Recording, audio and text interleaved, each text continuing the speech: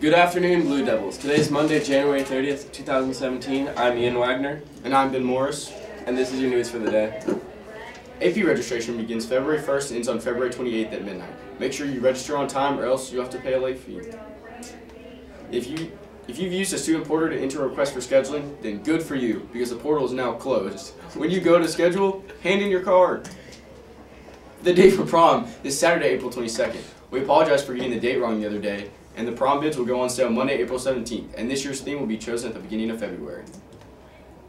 A big thank you to all seniors who participated in senior benefit. Thanks for the hard work that you put in, and now prom tickets will be at a reduced price. More info will become available in the coming weeks. This is a reminder to anyone who has younger siblings and friends who will be attending Henry Clay next year. Orientation will be held on Thursday at 6 p.m. in the theater. Congrats to Mr. Rockcliffe, who has been nominated for a National Life Changer Award. He's one of 15 winners across the country. Great job and good luck. Attention students and staff. The, the one and two hour delay schedules have been posted on the Clay website and Infinite Campus. Be sure to check the website whenever there is inclement weather.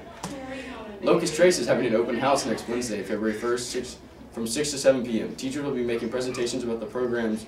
Make sure to attend if you have any questions about it or if you're interested. Now for club news.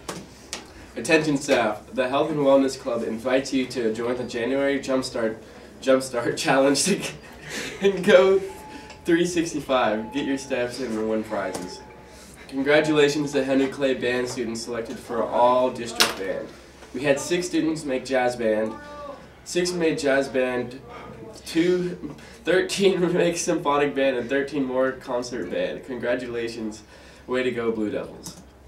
Did you know that the Henry Clay Theater Group is putting on a play, a winter play before the spring musical? This February, the Canterbury Tales are coming to Henry Clay. Stay tuned to your HC News for more details, and it's getting closer to showtime. And now, time for sports. Your girls lacrosse team is having a fundraiser 5K on March 25th at 10 a.m. located at the Coldstream Park. The price is $20 for students and 25 for adults, and there will be a food trucks afterwards to revive you after that long run. Track conditioning is every Monday through Friday from 3:45 to 5:15. Dress warm. We'll be outside three to five days. The weightlifting schedule for football is out. Mondays and Wednesdays for offense, Tuesdays and Thursdays for defense. Baseball conditioning is on Mondays, Wednesdays, and Fridays after school in the field house. Also, there will be hitting on after school on Tuesday. Your Henry Clay cheerleaders are headed down to Orlando for UCA Nationals on February 9th. Wish them luck and safe travels as they compete representing our school. Come cheer on your Henry Clay staff members in a charity basketball as they take on Lexington's media team on February 12th. Admission is $5 and all tickets sold will go to God's Pantry. The game begins at 2.30. Tennis team meeting after school this Wednesday at Minute Rivals Room. Come out if you're interested. That's all the news we have for today. Remember, we are determined, engaged, valued, inspired leaders, and successful. We are Blue Devils. For all of us here at HCVV, I'm Ben Morris. And I'm Ian Wagner. Have a great afternoon, and we'll spend evening Blue Devils.